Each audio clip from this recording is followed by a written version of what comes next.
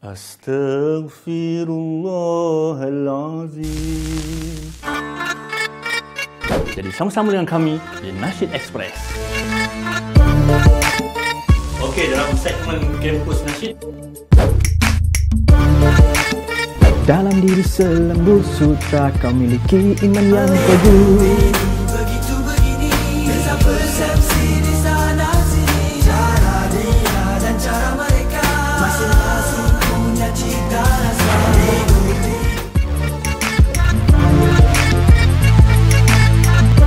Keredaan Tuhan. Jadi kita memohon, kita meminta kepada semua Nasyid